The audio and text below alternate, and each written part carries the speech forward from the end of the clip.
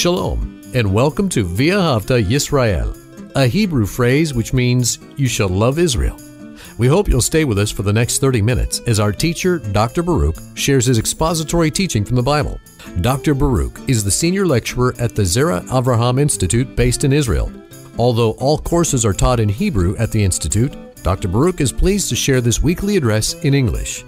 To find out more about our work in Israel, please visit us on the web at loveisrael.org. That's one word, loveisrael.org. Now, here's Baruch with today's lesson. Frequently, I hear people say, the prophet Isaiah, I just love that book. And indeed, there are wonderful chapters in this book, many messianic prophecies, things that speak about God's deliverance, or as the name Isaiah would suggest, the salvation of the Lord. But when we read the book of Isaiah in its entirety, we find that the number one theme is judgment. Now, in one sense, that shouldn't surprise us because, as I frequently say, because it's frequently taught not just in Isaiah, but throughout most of the prophets, if not all of them, and that is God's judgment gives rise to salvation. We can say it another way. The outpouring of God's wrath ultimately will bring about the establishment of the kingdom of God. You cannot have those wonderful blessings, those promises of God. God wiping away every tear so that there's no more sorrow, no more death, no more anything against His will without first there being the outpouring of judgment. And many people, I'm afraid today, forget that. And they do not teach what the Bible says about God's judgment. Well, with that said, take out your Bible and look with me to the 24th chapter of Isaiah's prophecy, Isaiah and chapter 24. Now, we're going to see that that principle taught that God's judgment, after it is thoroughly completed, the outcome is something good the kingdom of God. But we're going to see that there is much more in the way of content in this 24th chapter concerning God's judgment than those good things. And that is to inform the reader, to inform all of us that God's judgment is severe, it is harsh, it is thorough. And that's why we should be so thankful, so grateful concerning this salvation, the forgiveness of sins, what Messiah did for us when he went to the cross. Let's begin. Chapter 24 and verse 1. Now, again, the language here is poetic. There is much parallelism, as we would expect in, for example, the book of Psalms. But, but frequently, prophecy is poetry. And we see a wide variety of vocabulary in order to truly give the reader a full understanding of what God is up to. So, verse 1 Behold the Lord, and this is a word for emptying something or destroying it. And both of those concepts need to be realized. There's going to be this word to make empty has to do with suffering loss. God's judgment brings about loss. Those things that were not part of his will. We see that thoroughly, for example, read the book of Revelation and chapter 18, a future prophecy about how in one hour the wealth of the world becomes none. God, and this term hour simply means in a moment. It can be time wise even less than 60 minutes. And it speaks about God's sovereignty, what God ultimately is not committed to, What does not manifest his glory, God will destroy. He will cause it to suffer loss. He will empty it out. So, once more, verse 1 Behold, the Lord empties the earth, and he destroys it, and he twists its faith, now, face. Now, this twisting of the face of the earth, the surface of the earth, is to show a transition coming, a different character. So when a person's face is, is changed, it is not like it used to be. It speaks oftentimes about a different feeling. His face changes because he feels differently, he has a different attitude, a different framework of looking at things, a different perspective. And that's what God's judgment is going to bring a transformation of his creation. So he twists its face, its surface. And also, a very strong word, vehefitz, that is to, to cast, to move rapidly and violently. He moves, he casts away its, that's the earth's inhabitants. So not only will there be a loss of, of wealth, but a loss of life.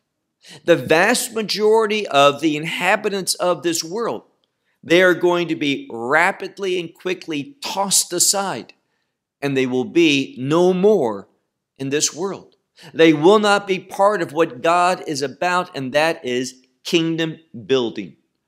Verse 2 And it shall be as the people, as the priests as the servant, as his master, as the maidservant, as her lady, as the buyer, as the seller, as the, the lender, as the borrower, as the, the one who is in debt, so also will be the carrier of it, that is, the creditor.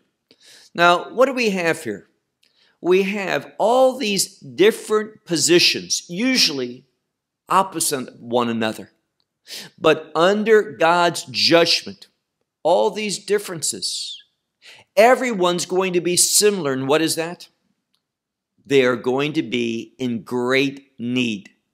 They're not going to be worried about do I need money? Have I loaned money and I'm going to give it back? Am I in a better position than that one? I have money to loan and he doesn't. I have things to sell. They need to buy them. I'm the priest. That's the person, the normal people. All those things are going to be dissolved because of God's judgment. God's judgment, we can understand this verse as being a great equalizer. It's going to put everyone in the same, in an equal position. And that is on the pathway to eternal destruction. Now, I'm beginning to say more and more when we encounter Scripture how serious it is. We need to see that the Word of God, more often than not, depicts that which is extremely serious and we need to approach the Word of God in a serious manner. We need to take the time to learn how to rightly interpret so we can understand God's revelation. That the man of God, the woman of God might be complete, and here's what I like ready for every good deed. What's a good deed? A deed in obedience to the will of God verse, verse 3. Once more, we see that he, he empties the earth and he plunders. So, once more, what's being emphasized is this loss. He empties the earth and he plunders. For the Lord, he has spoken this thing. So, all of this is coming about because God has said it. Now, there's something else that we need to realize about uh, Isaiah chapter 24. It is not a, a prophecy that's simply futuristic in Isaiah's days. Isaiah, this prophecy was not speaking about something that would be fulfilled in his lifetime or prior to the coming of Messiah, the first coming, but this is a last day prophecy. It speaks with intensity about God's ultimate judgment, his wrath, that is going to bring that change, that transformation to the world, a different, remember, the face of the earth is going to be distorted, changed, twisted, however you want to understand it, and implies a new, a different character. And the takeaway for us is this if God wants to change the, the attitude, the appearance, the mindset of the world, how much more so do I need to change? So God is making a transition. He's making a change within his creation. And we should say, let it begin with me. Verse 4. Verse 4 is still speaking about this, this world, this earth. And it says, it's a word for mourning. The earth, that's the, the understood uh, uh, subject. It appears a little bit later on in the verse. But the earth mourns and withers or fades. And it's simply showing that it's not going to thrive. God's judgment is going to bring mourning and a fading away, a withering. And this is simply a word that shows it is a manifestation of decay. It manifests a dying process. And that's what is going to happen to creation. It is going to change by means of death. And that shouldn't surprise us because death is what brings change into my life. When Messiah died, I died with him. It's only when we die to self that we find truly a life that's pleasing to God. So, verse 4 the earth mourns and withers away. And then we have another word for, for the earth, and it's the word tevel, which is the world in a broader sense. And we see in verse 4 that the world is going to be, and this word means miserable. And it speaks about something that is miserable from the person standpoint. I am miserable. But to those who look upon me, I am loathsome. So, this word, depending upon the perspective, if it's self, miserable.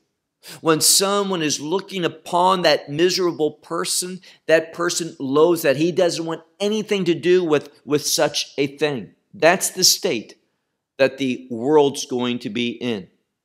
And also uses this same word for miserable or loathsome is the exalted people of the earth.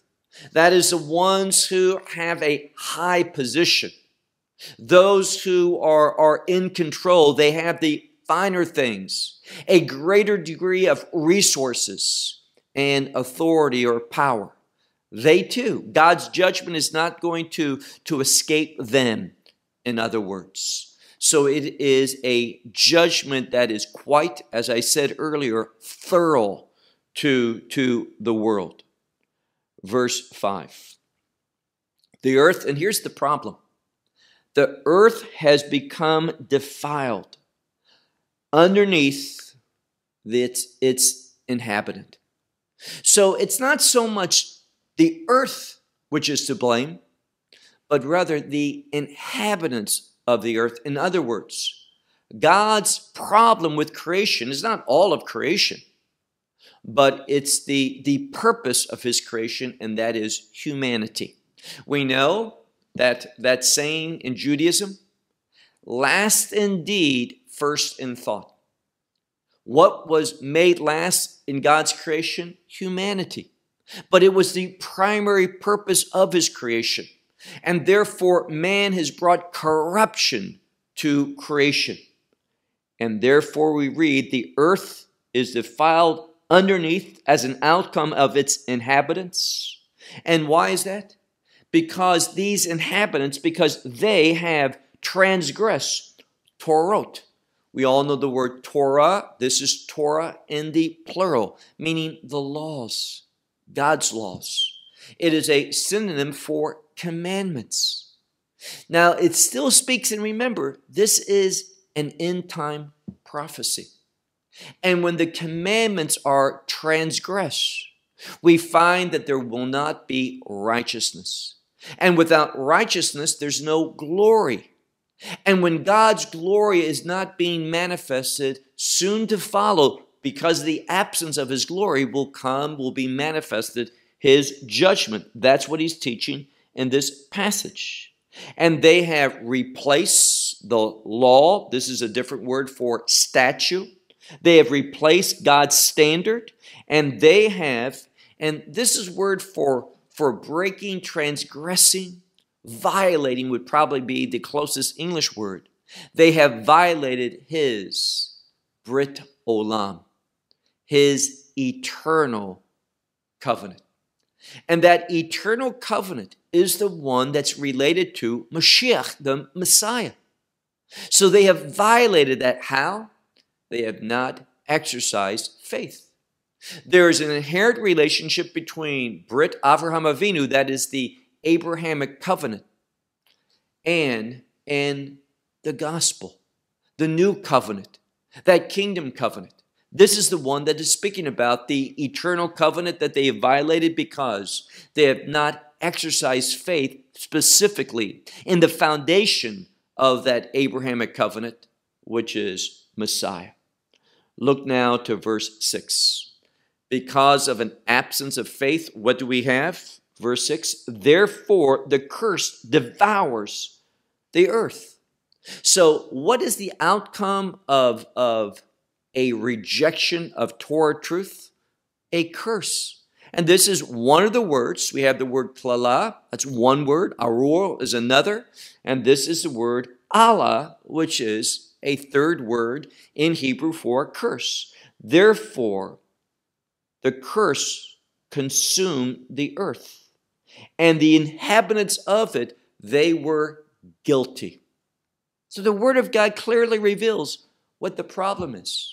When we look at God's chok, His standard, His laws, His Torah, His ways, we have violated them and we are guilty. And that word for guilty can also relate to shame. Guilt produces shame in Hebrew. We have uh, one concept for, for both being guilty or being ashamed. And therefore, what's the outcome of that? Well, we have a unique word, charu, yoshvei ha'arts. Yoshvei ha'arts are the inhabitants of the earth. And what's going to happen to them? Well, recently I've been teaching, for example, in Matthew 18 and also in the book of, of Jude, and we see something.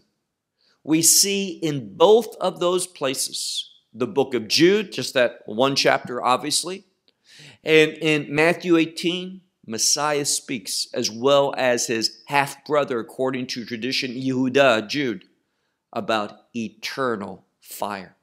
And that's exactly what Isaiah says that the inhabitants of the earth that they are going to be burned set ablaze with fire.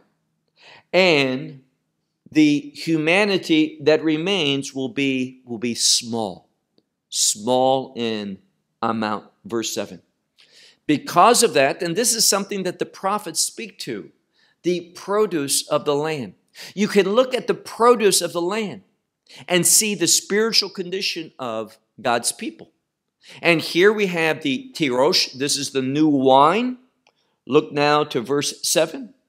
The new wine mourns, and the vine is the same word for miserable or loathsome.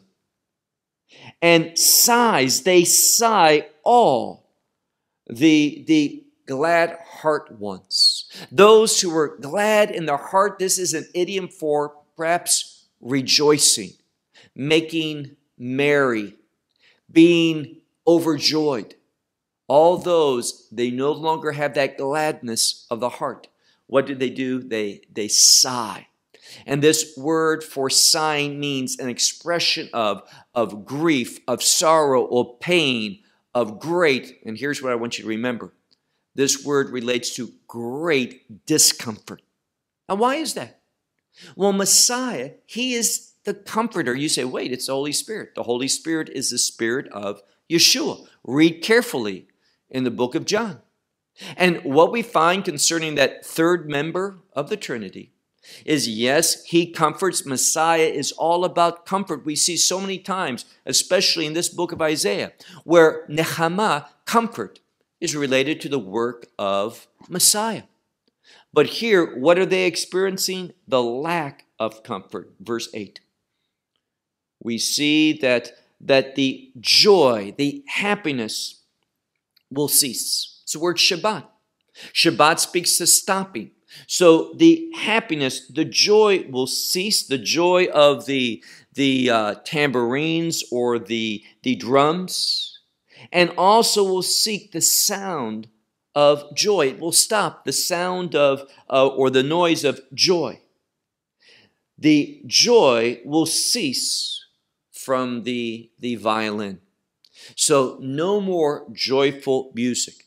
No more tambourines, drums, or violin. Everything stops. Why? Because God is displeased. God has been, and here's what's so important God has been disrespected. So let me ask you, let's just pause for a moment and ask ourselves Does that describe me? And do I think in a way, speak in a way, behave in a way that disrespects God. If I do not submit to His rules, I am disrespecting Him. And it's because this world, for the large degree, has been doing it and doing it and doing it, that one day judgment comes. And this is what Isaiah is speaking to in this passage. Look now to verse 9. With a song, they do not drink wine. And strong drink has become bitter, will be bitter to its drinkers. So, wine and strong drink usually associated with celebrations, rejoicing, banquets. No more, no more. Why? There's nothing to celebrate. There's nothing that is a source of joy.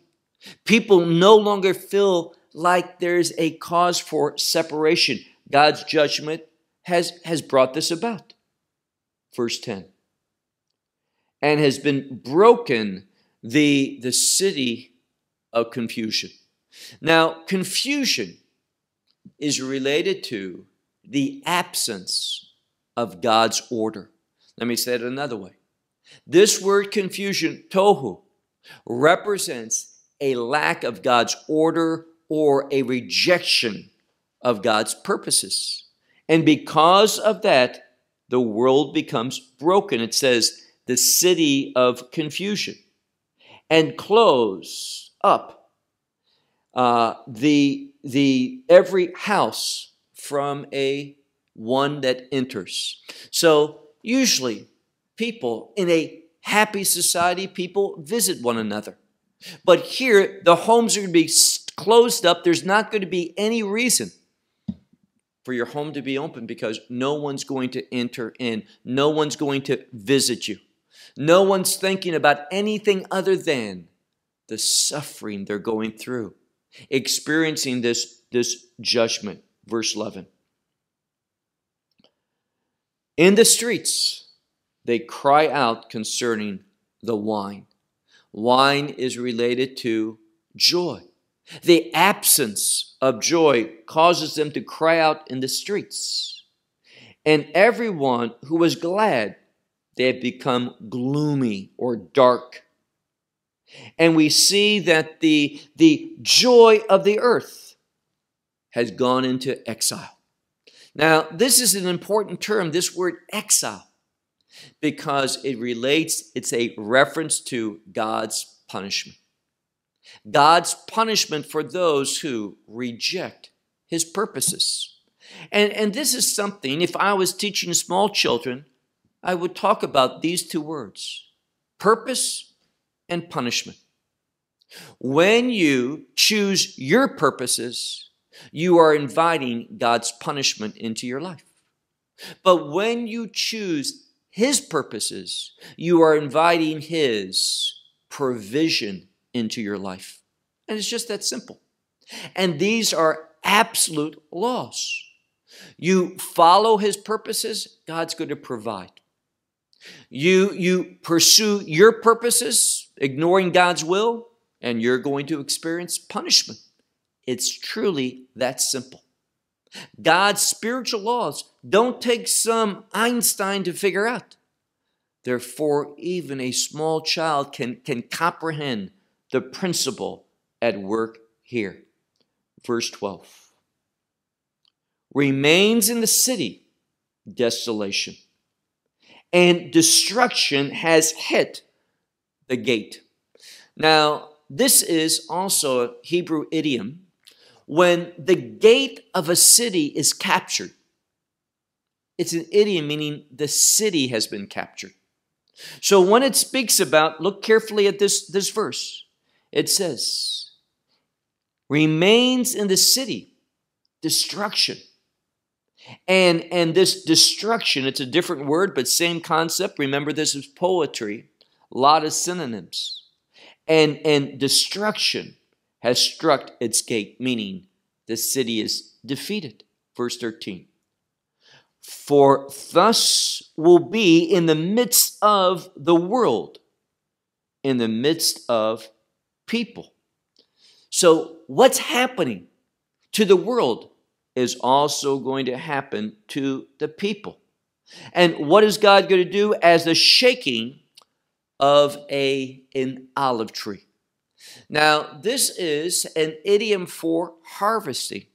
You want the olives, you shake the olive tree, and the olives fall. They put uh, uh, blankets and such, netting on the ground to gather up what falls. And harvest is related to the concept of payday. And, and payday is going to be one of two things Either God looks upon your faithfulness and he pays you, or he sees that you are a debtor, that you lack, lack the things of God. And therefore, what happens is you're going to pay the price. That is, you're going to be a recipient of God's judgment, his destruction. That's what he's saying here. As the, the fruit of the, the, the, the fall, it is consumed at that time. At that time, end of verse 13, it speaks about the, the grapes at the end of the harvest period. That's why I say the fall, at the end of the harvest period. Those grapes that, that didn't come ripe throughout the summer, usually early in the summer, late in the spring. But those grapes that never come to fruition, never mature, late in the summer, the fall comes and they are destroyed. That's what he's speaking about here. They're consumed. Verse 14. They lift up their voice, they, they shout in the majesty of the Lord the, the waters rejoice. And what is it speaking about? When we come to verse 14, we're going to see a change. God has spoken abundantly in these first 13 verses about judgment. And now, at the, the appearance, people can see God's judgment upon the evil those things that were, were, were set against him, ignored his purposes. And now, because of that, there's going to be the sounds of rejoicing for God's righteous, righteous wrath that fell upon this world. And by the way, if you look and study the book of Revelation, that's exactly what you see. God pours out in a, a furious way his wrath. A consuming, a destroying wrath that leaves nothing behind ultimately when he pours out those bowls, these vials. And what's the response of, of heaven to all of this destruction, pain, sorrow, death, and suffering? The heavens rejoice in God's righteous judgment.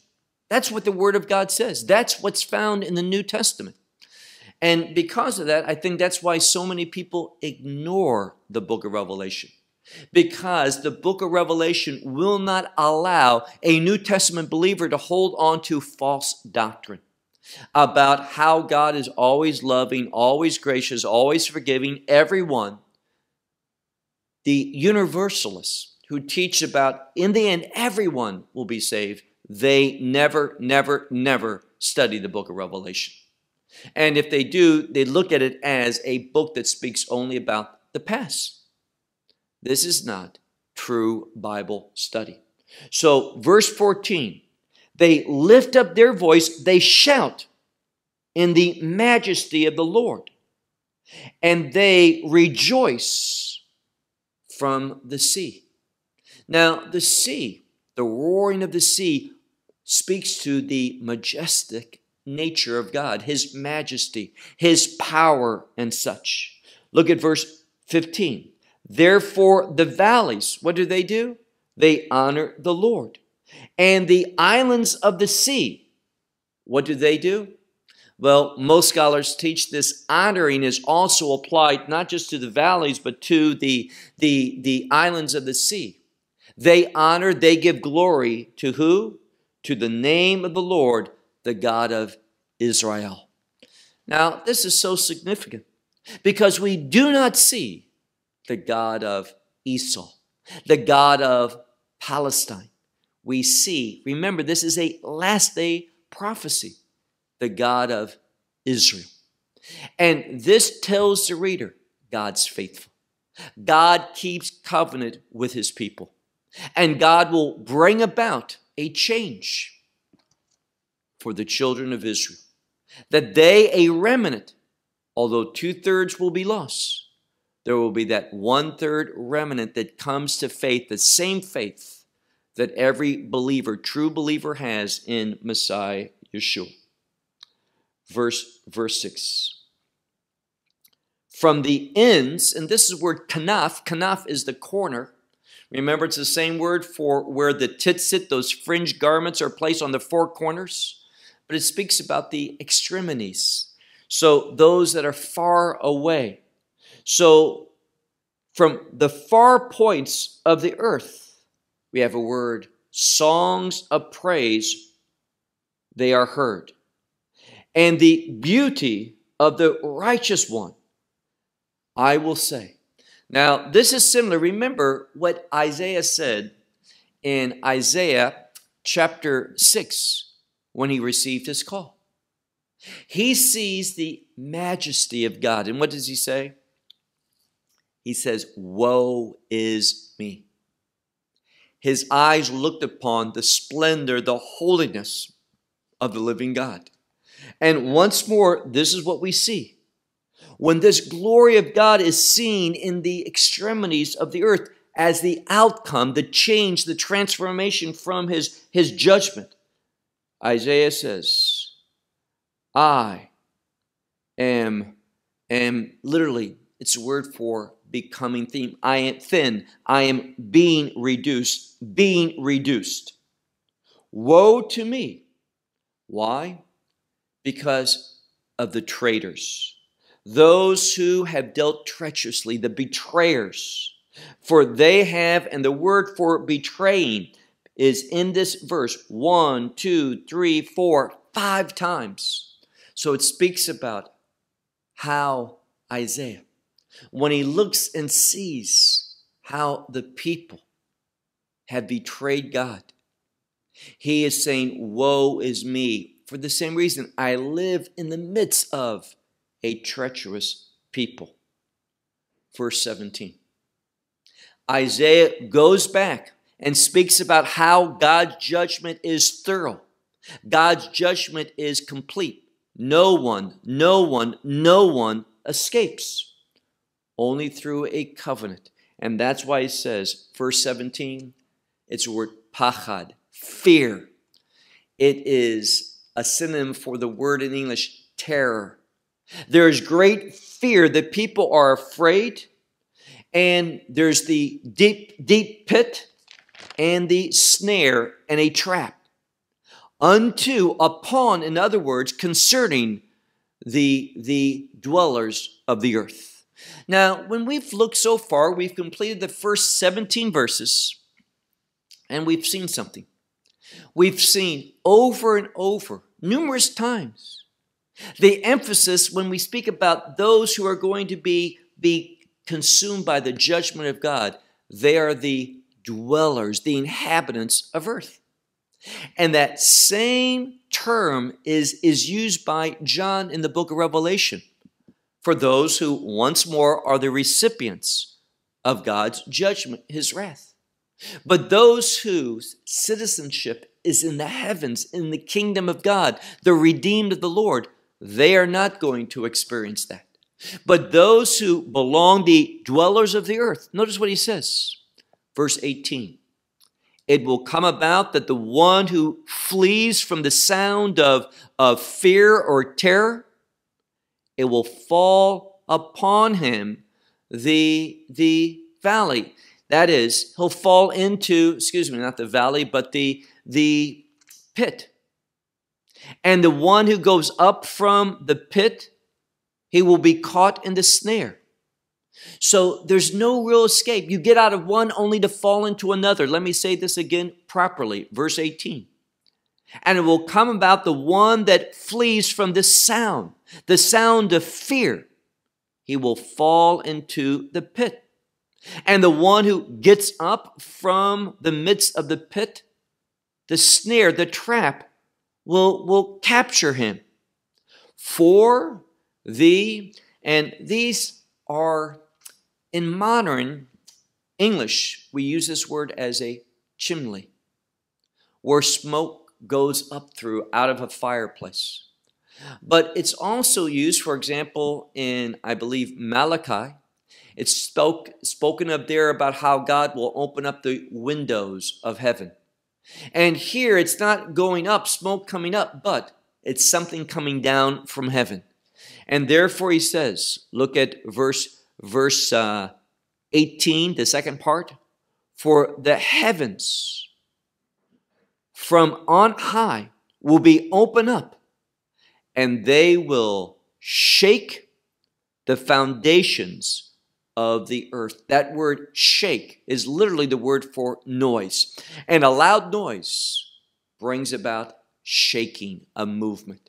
And what's going to be the occurrence, the outcome of that? Look at verse 19 we have a word for, for the earth being broken and the earth wobbling, meaning a lack of stability, and it's going to, the earth is going to collapse. So, those three things it's going to be shaken, it is going to wobble, and it's ultimately the earth is going to collapse. Verse 20.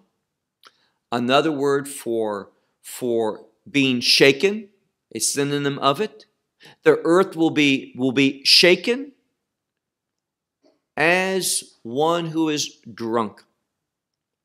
And one will wonder, the earth will wonder about in a state of confusion as some will say a tent or a shack, a, a temporary resident residence, something that people stay in just for a short time while they're traveling, so there's not much stability and the, the heaviness upon it, upon this, this tent, because of, of or the world, the, the heaviness upon the world because of the transgression. And the earth is going to fall and will no longer rise up. So those who belong to the earth, thinking in an earthly way, having a, a humanistic point of view and not a godly perspective. They are going to collapse, first shaken. They are going to, to wobble. They will be confused and, and go through places wondering about not having clear direction in their life. They will collapse, they will fall, and they will not rise up again. And what brought this? Their transgression. Verse 21. Now we just have three verses left. And verse 21 has that, that hermeneutical clue. That is a phrase hermeneutics teach this. There are certain terms that appear over and over and give us an indication of something. And therefore it says, look at verse 21, it will come about on that day that the Lord will visit. And this word visit, pe kuf dalet, it's a word that's translated a variety of different ways. It can mean visit in a good sense. It can mean redeem. It can mean assist. But it can also mean that God will punish and destroy. It all depends upon the state of the situation. If one merits a blessing, God will bless richly. If one deserves a curse, a destruction, a punishment, God will do that. But the word here means that God is all in. It is going to show his commitment to the manifestation of his character. So it will come about on that day, that is the last days, that's the implication, the end times. It's a time of judgment, that expression, Beyom Hahu. It will come about on that day, the Lord will visit the exalted army. Now, some will say that this has to do with, with the Antichrist, who will want to exalt himself up to fight a battle in the heavenly realm. So, this is who he's speaking about here, according to most commentators. Look again, verse, verse 21. And it will come about on that day that the Lord will visit that exalted army and from on high, and concerning the kings of the earth upon earth. So, God, those who are in lofty places, God's going to judge those who are on low places in this earth. God's going to judge. What's it speaking about? God's judgment, his wrath, wrath is thorough. It is complete. No one, no one, no one is going to escape. Verse 22. And shall be gathered the, the prisoner concerning the pit, and they will be closed concerning the prison. So what it says here is the, the one, the prisoner, God's prisoner, is going to be in the pit. He's going to be placed in, in prison. It's going to be closed up. For many days, they will be visited, meaning they will be punished. Now, when it says, Merov Yamim, many days, this is expression for eternity. That punishment is not going to come to an end. Many times in the scripture, you will find the word harbe, and this is a version of that. And it's speaking about, it's translated many, but it literally means in the context all, every. It's a word of, of entirety, completeness. Verse, verse 23, our last verse. The moon is going to be ashamed.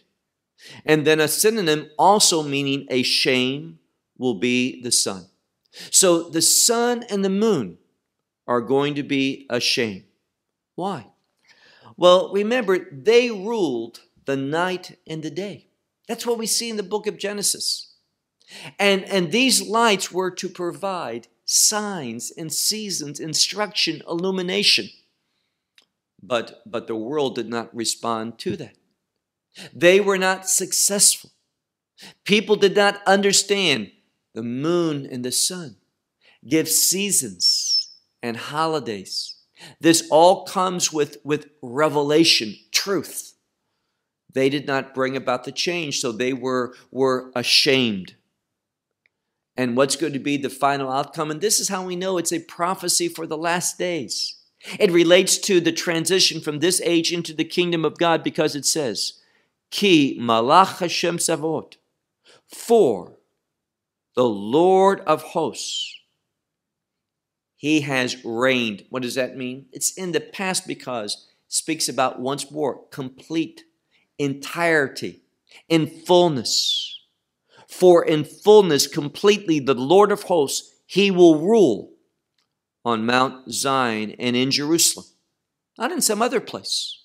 There is a future, a godly future, a purpose for what we see here, Jerusalem, known here as Sion, Zion. And he'll do so before his elders of holiness or glory or, or honor. Now, who are these elders of, of glory? Well, we only need to turn to the book of Revelation to find out that they relate to the 12 tribes. And they relate to the foundation of that are the 12 apostles. What we speak of having to do with Israel. You cannot rightly understand God's purposes, God's plans, His prophetic revelation if you set Israel aside. And that's why replacement theologians, those who say such, such God offensive things such as the land of Israel, has no more relevance. God's covenant with the Jewish people has been done away with. God's not going to bring the people back to the land, even though we see it with our own eyes. I live in Israel, and the thing, one of the things that amazes me is the building and building and building that goes on because the people are returning back to the land exactly as God has said. Well, to me, this 24th chapter of Isaiah is a chapter of, of marvelous revelation of the faithfulness of God, this holy God that, that commands us to be instruments that manifests his righteousness, his gloriousness, his glorious condition, so that world will know, people will know that there is a God, and his name is Yeshua. He is the only begotten Son of the God of Israel. Shalom from Israel. Well, we hope you will benefit from today's message and share it with others. Please plan to join us each week at this time and on this channel for our broadcast of loveisrael.org. Again, to find out more about us, please visit our website, loveisrael.org. There you will find articles and numerous other lectures by Baruch. These teachings are in video form. You may download them or watch them in streaming video. Until next week, may the Lord bless you in our Messiah Yeshua, that is, Jesus, as you walk with Him. Shalom from Israel. Yeah.